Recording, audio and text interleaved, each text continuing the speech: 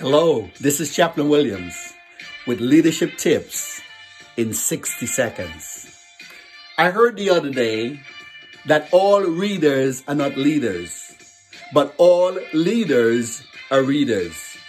What does that tell me? It tells me as a leader that you must read. You must read every piece of literature you can get your hand on in every different forms that you can. In poetry, you must read uh, the literatures.